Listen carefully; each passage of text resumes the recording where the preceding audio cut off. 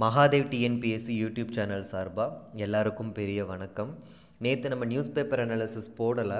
நேற்று அதிகமாக வந்துட்டு நியூஸ் இல்லைங்கிறதுக்காக நான் போடலைன்ட்டு இல்லை ஒரு பர்சனல் ஒர்க் அதனால தான் போட முடியல. பட் நேற்று பார்த்தீங்கன்னா இருந்துச்சு. உதாரணத்துக்கு பார்த்தீங்கன்னா டிஎன்ஏ மிஸ்யூஸ் பண்ணுற அது சம்மந்தப்பட்ட ஒரு நியூஸ் இருந்துச்சு.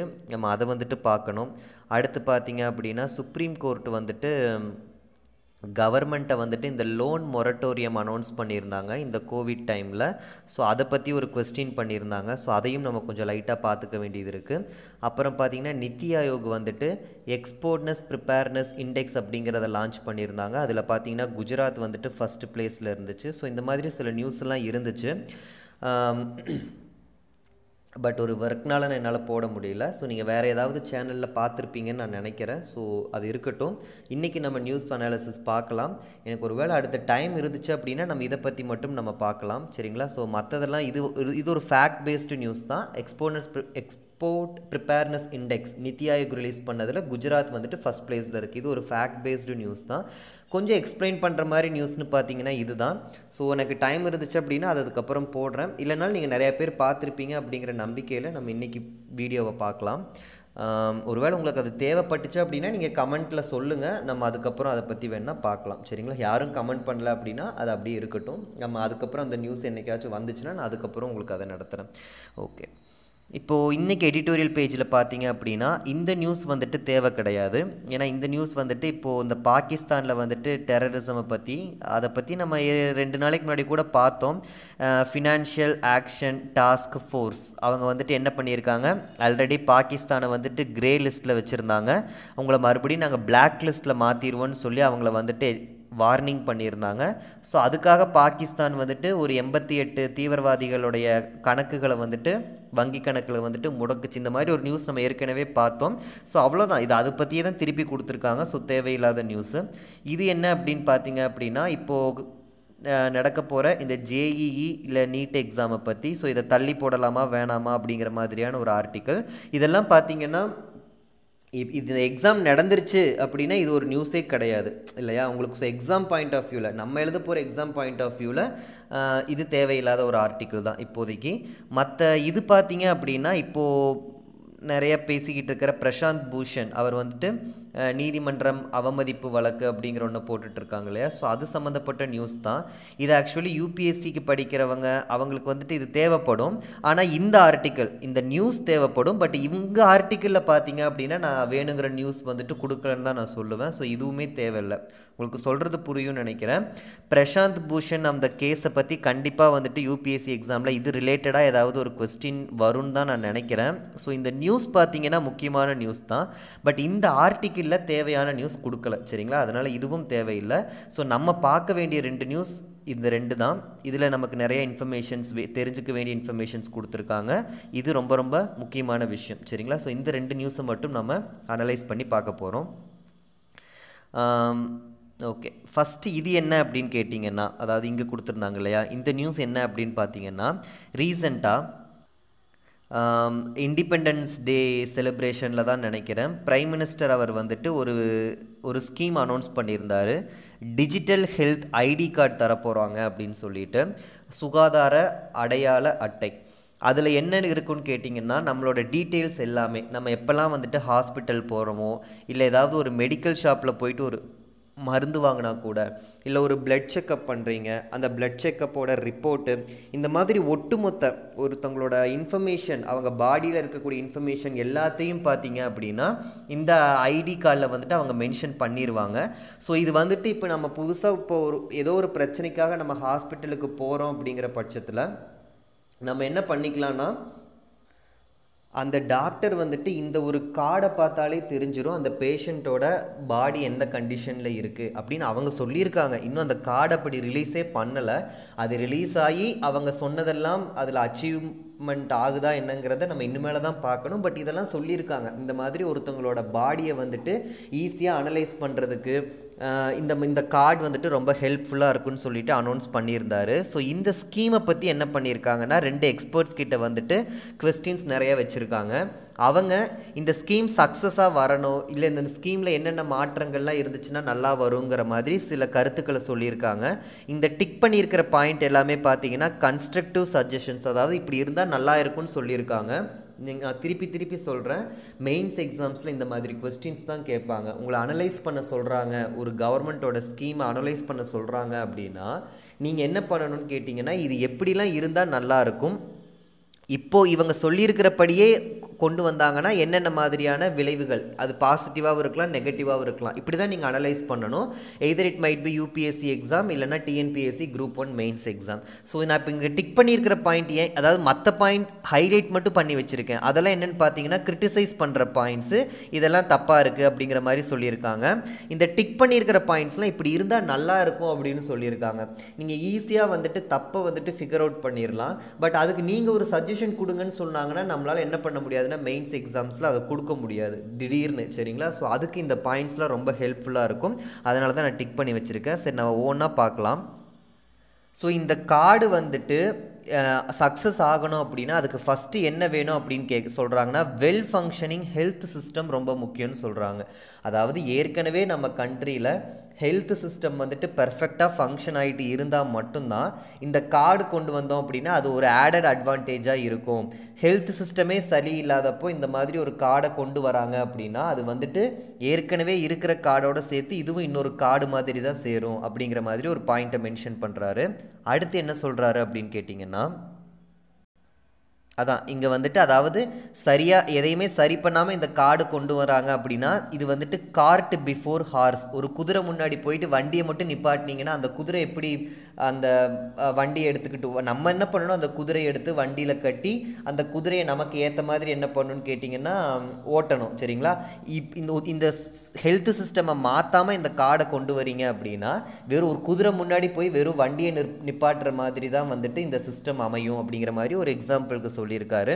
ஸோ அவர் என்ன சொல்கிறாருன்னா ஃபஸ்ட்டு எதை நீங்கள் ரெகுலேஷன் பண்ணணும்னு கேட்குறாருன்னா ப்ரைவேட் ஹெல்த் செக்டாரை வந்துட்டு ரெகுலேஷன் பண்ணணும். அதை ரெகுலேஷன் பண்ணால் அப்படின்னா இந்த கார்டை வந்துட்டு நம்ம ஒரு அளவுக்கு நல்லபடியாக யூஸ் பண்ணலாம் அப்படின்னு சொல்கிறாரு அடுத்து என்ன சொல்கிறாருன்னு கேட்டிங்கன்னா டேட்டா ப்ரொடெக்ஷன் ஆக்ட் வந்துட்டு கண்டிப்பாக இருக்கணும். டேட்டா ப்ரொடெக்ஷன் அப்படின்னா இப்போ ஒருத்தவங்களோட ஹெல்த் சம்மந்தப்பட்ட விஷயங்கள் எல்லாமே அந்த காரில் கார்டில் வந்துட்டு ஸ்டோர் ஆகுது. ஒருவேளை நீங்கள் இப்போ ஒரு இன்டர்வியூக்கு போகிறீங்க உங்கள் ஹெல்த் கார்டு கேட்குறாங்க அப்படின்னா அந்த ஹெல்த் கார்டுலேருந்து என்ன வந்துடும் கேட்டிங்கன்னா உங்களை உங்களை பற்றி உங்கள் உடம்பை பற்றியான எல்லா இன்ஃபர்மேஷனுமே அந்த கார்டில் தெரிஞ்சிடும் அப்போ இது என்ன மாதிரி பிரச்சனையை கொண்டு போகும் அப்படின்னா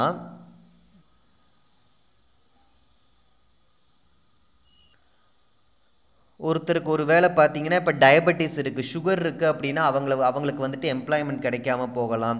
இல்லை யாருக்காச்சும் ஒரு வேளை ஹெச்ஐவி இருக்குது அதை அவர் வந்துட்டு கான்ஃபிடென்ஷியலாக வச்சுருக்காரு அப்படின்னா இந்த கார்டில் அந்த டீட்டெயில்ஸ்லாம் ஸ்டோர் ஆகும்போது என்ன ஆயிரும்னா அவரை பற்றியான எல்லா இன்ஃபர்மேஷனும் தெரிய வரும். அது அவங்கள என்ன பண்ணால் இன்னும் அவங்கள வந்துட்டு ப்ரெஷரைஸ் ஆக சான்ஸ் இருக்குது ஸோ ஃபஸ்ட்டு இந்த கார்டு கொண்டு வர்றதுக்கு முன்னாடி எதை வந்துட்டு தெளிவுபடுத்தணும் அப்படின்னா டேட்டா ப்ரொடெக்ஷன் இந்த கார்டில் இருக்கக்கூடிய டேட்டாவை அவங்க எப்படி வந்துட்டு ப்ரொடெக்ட் பண்ணுவாங்கங்கிறத ஃபஸ்ட்டு அதை ஒரு ஆக்ட் போட்டு அதை வந்துட்டு சொல்லணும் அப்படின்னு சொல்லி ஒரு பாயிண்ட் சொல்லியிருக்காரு. இதெல்லாம் டிக் பண்ணியிருக்கேன். ஏன்னா இதெல்லாம் வந்துட்டு நல்ல ஒரு சஜஷன் கொடுக்கக்கூடிய ஒரு பாயிண்ட்ஸ் அடுத்து பார்த்தீங்க அப்படின்னா இது இன்னும் இன்னொன்று என்ன சொல்கிறாரு அப்படின்னா எப்படி வந்துட்டு ஆக்சுவலி வந்துட்டு அவங்க அந்த இன்ஃபர்மேஷன்லாம் ஸ்டோர் ஆகும்? இந்த மெடிசனில் ஏதாவது பார்கோடு இருக்கா? ஒருவேளை அப்படி பார் கோடு இருக்குது அப்படின்னா ஆட்டோமேட்டிக்காக அந்த மெடிசனை ரீட் பண்ணோன்னா அது அந்த இந்த மெடிசன் இவர் வாங்கியிருக்காருன்னு சொல்லிட்டு நம்ம அட்டைக்கு நம்மளுடைய அந்த சுகாதார அட்டையில் போயிட்டு சேர்ந்துரும். அந்த மாதிரி ஏதாவது பார் பார்கோடு இருக்கா? இல்லை.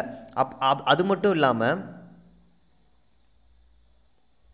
டாக்டர்ஸ் வந்துட்டு ப்ரிஸ்கிரிப்ஷன் எழுதுகிறாங்க இல்லையா? அதெல்லாம் அவங்க மேனுவலாக தான் எழுதிக்கிட்டு இருக்காங்க. நம்மக்கிட்ட ஏதாவது இ ப்ரிஸ்கிரிப்ஷன் ஒன்று இருக்கா? அதாவது அவங்க எழுதுகிற ப்ரிஸ்கிரிப்ஷன்லாம் அவங்க ஏதாச்சும் சேமித்து வைக்கிற மாதிரி இது வரைக்கும் அந்த மாதிரி சிஸ்டம்லாம் இல்லை இல்லையா? அதெல்லாம் இருக்குது அப்படின்னா இந்த கார்டு வந்துட்டு கொண்டு வர்றதுக்கு ஈஸியாக இருக்கும்.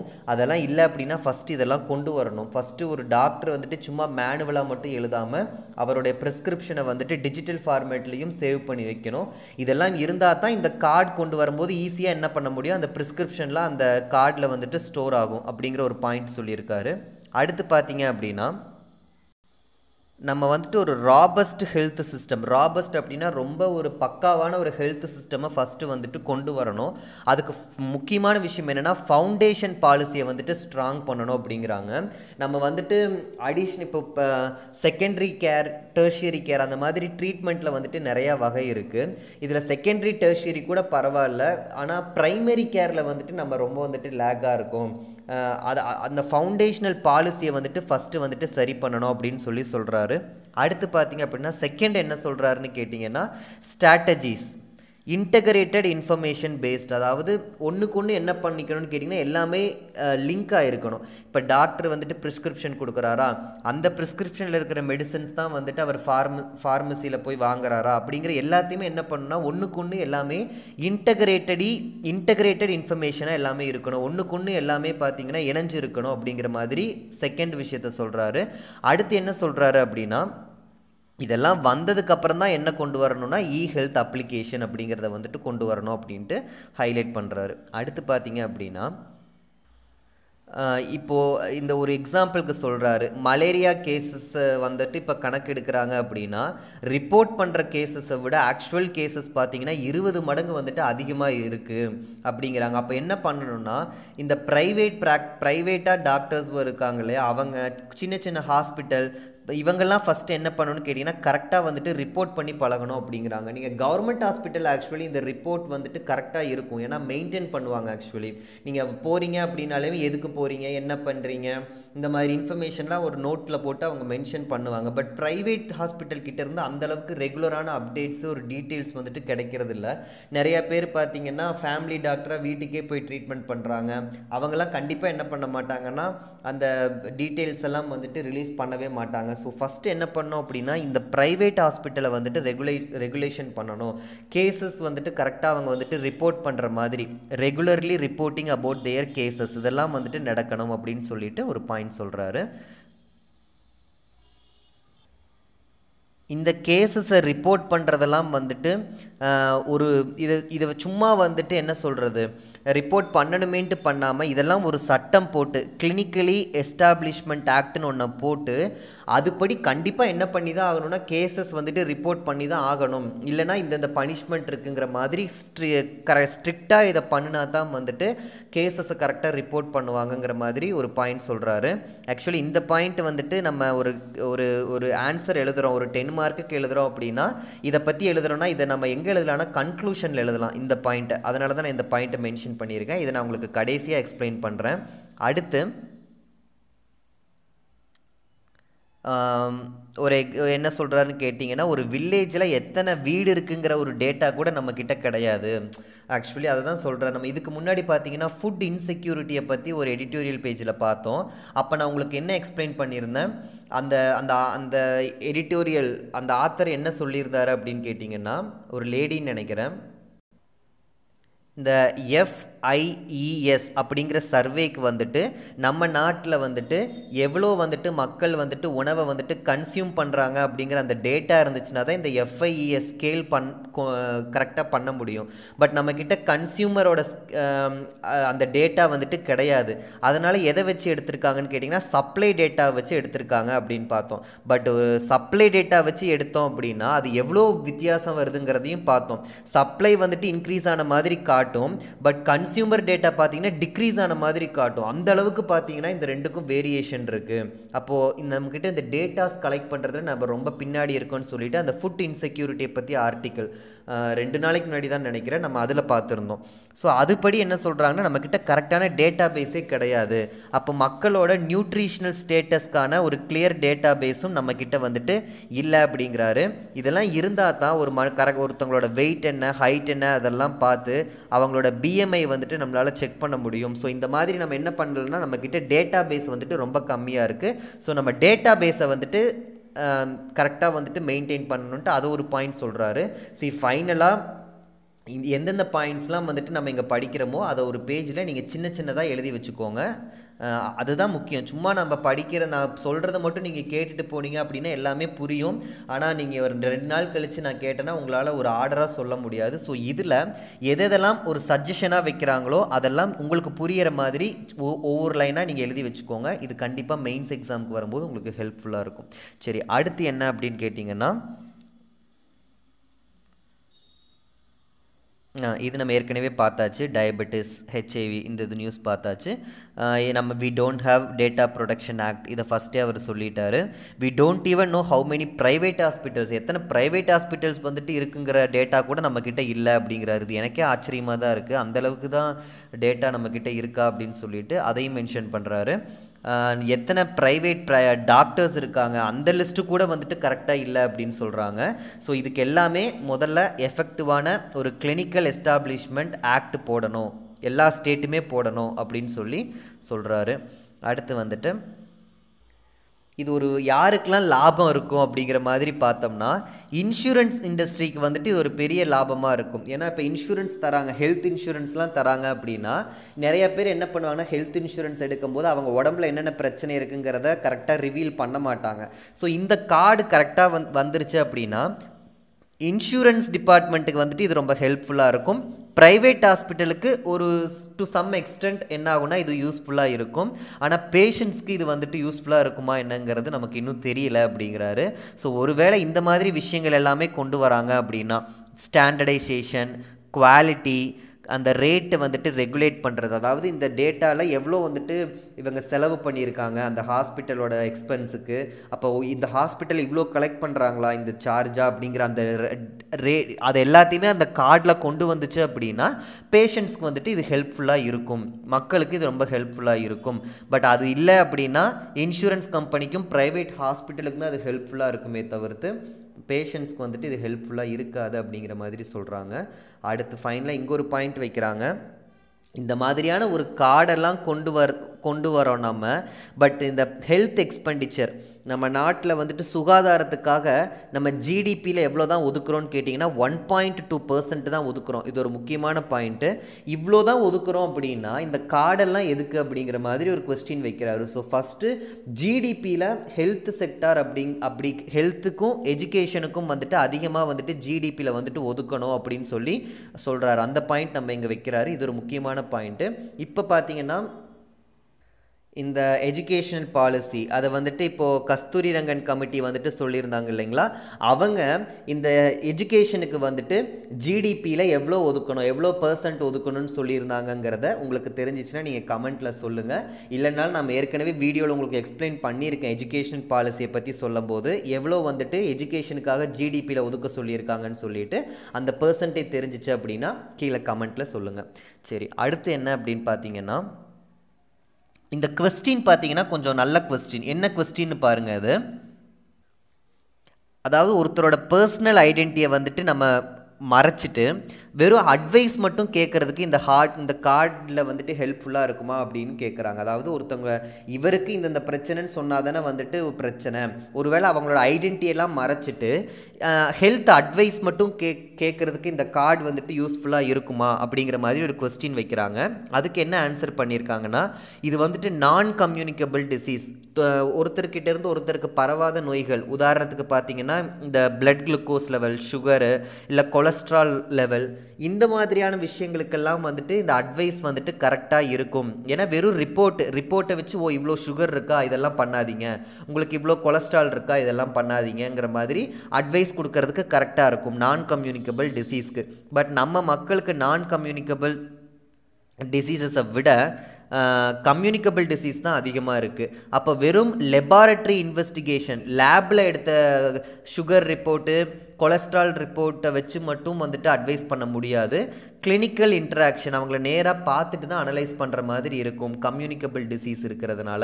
ஸோ இந்த கார்டு வந்துட்டு அந்தளவுக்கு நமக்கு ஹெல்ப்ஃபுல்லாக இருக்காது. ஏன்னா நம்ம மக்களுக்கு அதிகமாக வந்துட்டு கம்யூனிகபிள் டிசீஸ் தான் இருக்குது ஸோ அதனால் நம்ம வந்துட்டு மக்களை பார்க்காமையே என்ன பண்ண முடியாதுன்னா இந்த கார்டை வச்சு அட்வைஸ் கொடுக்கறது வந்துட்டு கஷ்டம் அப்படிங்கிற ஒரு பாயிண்ட் சொல்கிறாரு ஸோ ஃபைனலாக என்ன சொல்கிறாங்க அப்படின்னா இதுக்கு முன்னாடி வந்துட்டு பிளானிங் கமிஷன் இருந்தப்போ அவங்க என்ன சொல்லியிருக்காங்கன்னா ஜிடிபியில் கொஞ்சம் பர்சன்டேஜை ஒதுக்குனா கூட மக்களுக்கு தேவையான எசென்ஷியல் அத்தியாவசியமான மருந்துகள் எல்லாமே வந்துட்டு ஃப்ரீயாகவே கொடுக்கலாம் அப்படிங்கிற மாதிரி பிளானிங் கமிஷன் வந்துட்டு சொல்லியிருக்காங்க. அதை வச்சு ஒரு கொஸ்டின் கேட்குறாங்க அவர் என்ன சொல்கிறாருன்னா இது வந்துட்டு ஒரு புது விஷயம் இல்லை. ஏற்கனவே தமிழ்நாடு மெடிக்கல் சர்வீஸ் வந்துட்டு இந்த மாடல் ஃபாலோ பண்ணிட்டு தான் இருக்காங்க. என்ன ஒரு விஷயம்? நீங்கள் இங்கே இங் இந்த மாதிரி பண்ணுறீங்க அப்படின்னா எதெல்லாம் ஞாபகம் வச்சுக்கணும் அப்படின்னா டிமாண்ட் ட்ரிவன் சப்ளையாக இருக்கணும். அதாவது தேவைப்படுறவங்களுக்கு கொடுக்குற மாதிரி இருக்கணும். மற்றபடி இதை வாங்கி வாங்கி பல்காக வச்சுக்கிறது அந்த மாதிரியான விஷயங்கள் இருக்கக்கூடாது. அப்படி ஒருவேளை ஏதாவது பல்காக வாங்கணும் அப்படின்னு நினைக்கிறாங்கன்னா அதில் நல்ல டிரான்ஸ்பரன்சி இருக்கணும். இதுக்கு இவ்வளோ வாங்கியிருக்கோம் இத்தனை பேர்த்துக்கு கொடுத்துருக்கோங்கிற மாதிரி அந்த டிரான்ஸ்பரன்சிலாம் இருந்துச்சு அப்படின்னா இதை கொண்டு வரலாம். இது ஏற்கனவே தமிழ்நாட்டிலலாம் இருக்குது ஸோ இது ஒன்றும் புது விஷயம் கிடையாதுங்கிற மாதிரி ஒரு பாயிண்ட் சொல்கிறாங்க ஸோ இப்போ நமக்கு வந்துட்டு இந்த தமிழ்நாடு மாடலில் என்ன தமிழ்நாடு மாடல் அவங்க கிட்ட கேட்டால் என்ன சொல்கிறாங்கங்கிற மாதிரி ஒன்று சொல்லியிருக்காரு. என்னென்னா சென்ட்ரலைஸ் நம்ம இந்த ம- ம- மருந்துகள்லாம் பர்ச்சேஸ் பண்ணுறோம் இல்லையா? இதை வந்துட்டு சென்ட்ரலைஸ் ஆக்குறோம் அப்படின்னா சென்ட்ரலைஸ்னால் இந்த பர்ச்சேஸ் எல்லாம் ஒருத்தரே பார்த்துக்கிறாங்க அப்படிங்கிற மாதிரியான ஒரு விஷயம் நடந்துச்சு அப்படின்னா நிறையா விஷயங்களை வந்துட்டு நம்ம வந்துட்டு சரி பண்ணலாம். Lot of things can be taken care ஆஃப்னு சொல்லிட்டு தமிழ்நாடு மாடல் வந்துட்டு நமக்கு சொல்லி கொடுக்குது அப்படிங்கிற மாதிரி ஒரு பாயிண்ட் சொல்கிறாரு ஸோ இதுதான் இந்த இந்த ஆர்டிக்கல் இப்போ நான் உங்களுக்கு கடைசியாக இந்த கன்க்ளூஷனில் ஒரு பாயிண்ட் சொல்ல வந்தேன் இல்லையா? என்ன சொல்கிறாங்கன்னு பாருங்கள் இந்த டிஜிட்டல் இ ஹெல்த் பிளாட்ஃபார்ம் அப்படிங்கிறது it's mainly pushed by the providers rather than being pulled by the சிஸ்டம்னு சொல்கிறாங்க அதாவது ப்ரொவைடர்ஸ்னால் யார்? கவர்மெண்ட் கொடுக்குறாங்க. கவர்மெண்ட் தான் என்ன பண்ணுறாங்கன்னு கேட்டிங்கன்னா இதை தள்ளி விடுறாங்க. இந்த இ ஹெல்த் பிளாட்ஃபார்மை இது வந்துட்டு பண்ணுங்க பண்ணுங்கன்னு சொல்லி கவர்மெண்ட் தான் புஷ் பண்ணுற மாதிரி இருக்கே தவிர ஆட்டோமேட்டிக்காக சிஸ்டமே வந்துட்டு மக்களை வந்துட்டு இதை சிஸ்டம்குள்ளே மக்களை ஆட்டோமேட்டிக்காக கொண்டு வர்ற மாதிரி இது கிடையாது அப்படிங்கிற ஒரு பாயிண்ட் சொல்கிறாங்க இதெல்லாம் பார்த்தீங்கன்னா கன்க்ளூஷனுக்கு நல்லா இருக்கும். இந்த இந்த மாதிரி நீ உங்களுக்கு தெரிஞ்சதெல்லாம் எழுதிட்டு கடைசியாக கன்க்ளூஷனில் இந்த மாதிரி ஒரு ஒரு ஃபேன்சி ஸ்டேட்மெண்ட்டோடு நீங்கள் முடிச்சிங்க அப்படின்னா உங்கள் ஆன்சர் வந்துட்டு ரொம்ப நிறைவாக இருக்கும். சரிங்களா? ஸோ இது உங்களுக்கு புரியும்னு நினைக்கிறேன். இந்த மாதிரி வந்துட்டு ஒரு மெயின்ஸில் எக்ஸாம் எழுதுறதுக்கு பழகுங்க.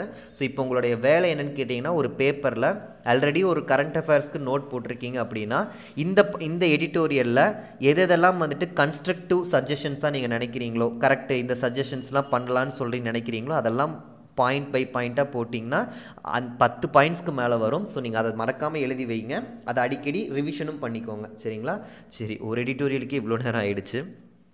நம்ம வேணும்னா எடிட்டோரியல் அனாலிசிஸை மட்டும் இப்போ நீங்கள் தனியாக போட்டுட்டு மற்ற நியூஸை வந்துட்டு தனியாக போடுறேன். ஏன்னா டைம் அதிகமாக டுவெண்ட்டி ஃபைவ் மினிட்ஸ் தேர்ட்டி மினிட்ஸ்க்கு அதிகமாக வீடியோ போகும்போது அப்லோட் பண்ணுறதுக்கு கொஞ்சம் கஷ்டமாக இருக்குது ஸோ எடிட்டோரியல் அனாலிசிஸை மட்டும் நம்ம தனியாக போட்டுடலாம்னு நினைக்கிறேன்.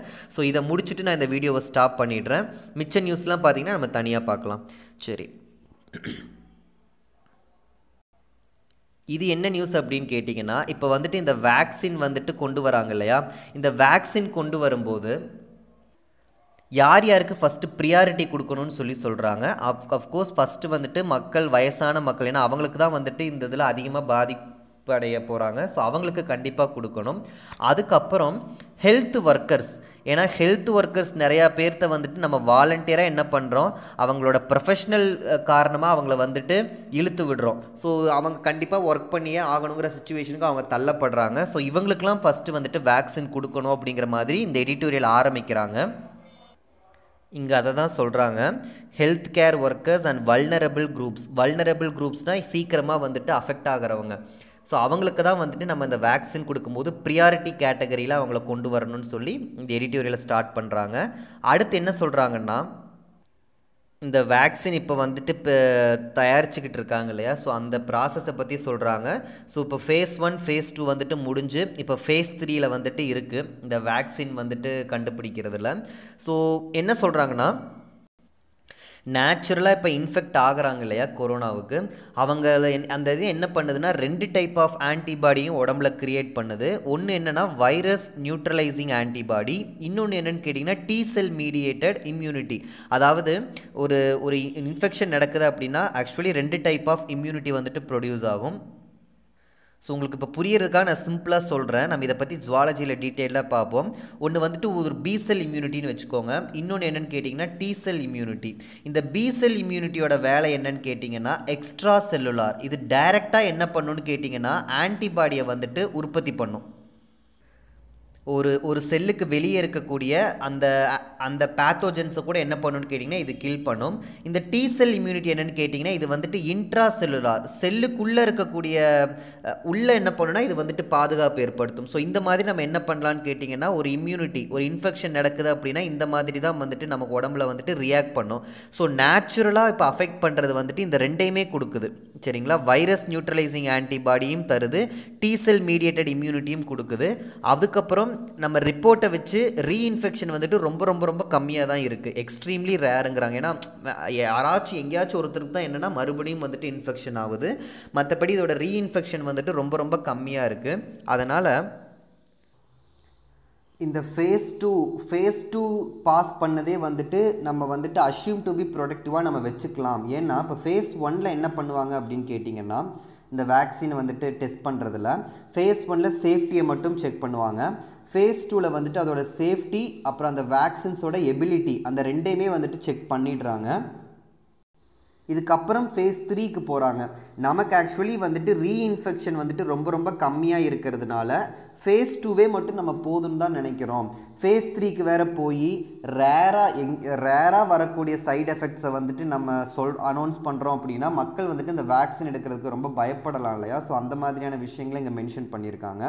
அடுத்து இந்த இந்த மெடிச இந்த வேக்சினை வந்துட்டு டெஸ்ட் பண்ணுறதுக்கு யாருக்கிட்ட இருந்தே ஆரம்பிக்கலாம் அப்படிங்கிறாங்கன்னா ஹெல்த் கேர் ஒர்க்கர்ஸ் டாக்டர் நர்ஸுக்கிட்ட இருந்தே ஆரம்பிக்கலாம்.